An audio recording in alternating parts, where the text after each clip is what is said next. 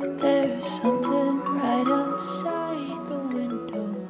You won't be the same. You're invincible. Sit back and